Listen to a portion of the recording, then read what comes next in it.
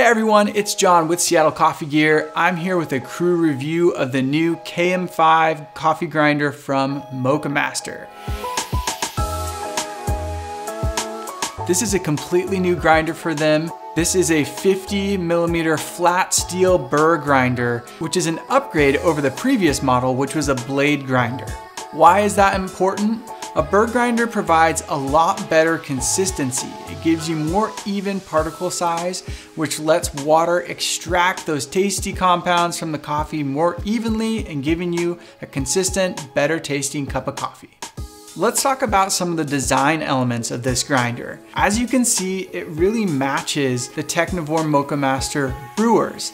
It has the same rounded edges of the design, the same metal body, and some of those little design elements like kind of the stripes down the side of the grinder. You get an adjustment knob right here on the front of the grinder and a glass grounds bin. Now let's move on to the features. I just touched on that adjustment dial. It is a stepless dial and has a setting dedicated for Moccamaster cone brewers. Most of them that we've seen come preset out of the box at that number five setting, which is ideal for the Moccamaster brewer. They added some anti-static tech to this grinder to help it be a little bit neater. We'll show you that in action just a little later. This grinder has decent capacities at about 8 ounces for the hopper and about 100 grams for the grounds bin. To run the grinder, you're just using the on-off switch on the face of the grinder. It is very manual, so you probably will need some way to measure your coffee, either by pre-weighing your beans and grinding the exact amount you need each time, or having a scale nearby to check your weight as you're grinding. The grounds bin also has some measurement lines to it, so if you took some time to get familiar with the grinder, you could use those measurement lines to get roughly the same amount of coffee each time. One last note on that grounds bin, it does come with two different lids. It has this lid, which has a little hole in the top, obviously for grounds to fall through.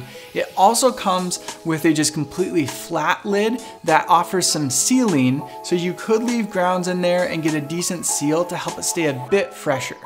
Now that we've talked about design and features, let's move on to some pros and cons. The biggest pro for me right up top is that build quality and the brand name. Moccamaster products are known to last a very long time and to have parts available for them for a long time in the future. If something breaks or just wears out, you know you can get parts to fix your products to keep them running for a very long time. Tied in with that pro is Moccamaster's five year warranty. I do not know of another grinder that has a five year warranty. That's definitely a pro. Another pro is the grind quality for drip brewing specifically. Like I said earlier, most cases we've seen, it actually comes preset for a Moccamaster brewer. So it'll produce great tasting coffee all the time. That moves us towards one of the cons. This is not gonna be a very flexible grinder. If you want something for pour over, espresso, drip coffee, cold brew, you might wanna look at something with step settings like a Baratza. Another con that's kind of a pro is the style of it it's really only going to match Moccamaster brewers. Luckily, there are a lot of dedicated fans to the Moccamaster brand, so I'm sure this grinder will find a happy home with many of our customers. The last con that I'll note is static. They do have some anti-static tech, but I found it still is a bit messy. That's enough talking. Let's go ahead and brew some coffee. I have the Technivorm KBGV Select brewer here. These are gonna pair perfect together. They even match.